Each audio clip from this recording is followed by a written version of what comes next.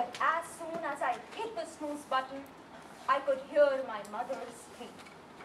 Marium, you sleepy head, it's time to wake up. But this made no difference to me as I chose to continue with my sleep. Five minutes later, I could hear my mother scream again, this time even louder. Marium, I know you have heard me. Get up right now or else. Or else, the next thing I knew she would do is come to my room and spill a glass of cold water on me. And so, this left me with no choice but to wake up. Basically, I had my MCAT exam that day. That is, Medical Colleges Test.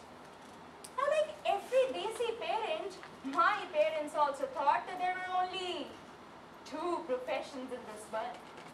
A, doctor, B, engineer. And considering that I was a girl, this decision became even easier. So I was told that my grandfather had this dream of making one of his daughters a doctor. But unfortunately, due to some unknown, mysterious reasons, he could not fulfill his dream, so then I was chosen to do so. And so, today was the day when it will be decided that will I be able to fulfill his dreams by securing a seat on merit in a government medical college and be ultimately titled as the first doctor of my entire family? Or will I be called a rebel and be referred to as a complete failure for the rest of my life? Yes, yes, yes, fellow Toastmasters and guests, the choice was tough. And so was the competition. 700 seats against 7,000 aspirants. And so today was the big day or say the doomsday for which I was obviously stressed. Very, very stressed. Because I was carrying the burden of expectations of not just my parents or my grandparents, but also of relatives I barely even knew. So that day, after finally waking up from a peaceful and calm sleep, I took my breakfast. And guess what did I have for my breakfast? Two Red Bulls. Why? Because Red Bull gives you wings. And that is exactly what I needed that day. Also, I took three Panadols. Because like every other had the strong belief that Panadol was the ultimate solution to all my problems. So when I started feeling depressed and anxious, I knew Panadol was the only cure. It was 8.30 a.m. I quickly got ready, packed all my stationery, and decided to leave for my exam center, which was Kennedy University, where only one and a half hour later, all hell was about to break loose. By 9 a.m., I was sitting inside the examination hall at my designated seat. And as I looked around and saw her candidates, I could see some were searching for their seats, some were extremely tensed, some could be seen chanting a few prayers, but some were busy secretly talking to their friends. I observed that every space had a completely different story to tell. A story about their struggles and hardships, about the sleepless nights and tiring days, about the blood and sweat they had put in, after which they were all finally here today. And today, this day would mark the end of their stories. And this was something I was curious about. That how many sad and happy endings would I get to witness today? It was 10 a.m. The question booklets were distributed and the two-hour exam had officially started.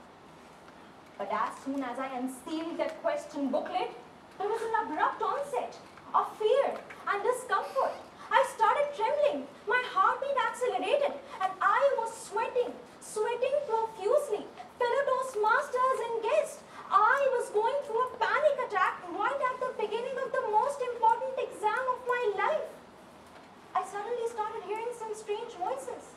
No, Marium, you will never be able to do this. You are a failure. You're hopeless. Oh, you are a disgrace. For a few minutes, I was numb, completely numb. I then tried to muster the courage to look around, but couldn't.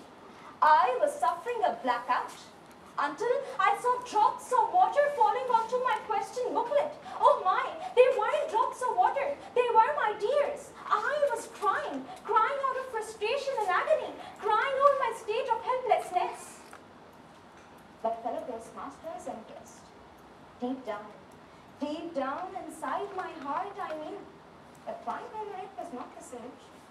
All of this was simply the consequence of that fear and pressure that I deliberately inflicted upon myself. At this point, at this moment in my life, I could not give up. I could not give up because I was scared of something or because I couldn't keep control over my nerves. And there'd surely be something, something that I could do about it. So with a positive outlook, I tried to pacify myself. I closed my eyes and started meditating. And this is how, within a few minutes, I finally managed to regain my composure. With renewed energy and vigor, I then attempted my exam. And yes, today, here standing in front of you all, I can proudly say that I did give it my best shot. And all of my efforts were finally paid off when I was admitted into my dream medical college. Fellow Toastmasters and guests, to sum up, I'd like to say that that day, that exam, did not just help me secure a seat in a government medical college, but also instilled in me the ability to confront my fears and fight them back with valor and courage. And just as Nelson Mandela once said, and I quote, I learned that courage is not the absence of fear, but the triumph over it. The brave man is not he who does not feel afraid, but he who conquers that fear. Over to the contest.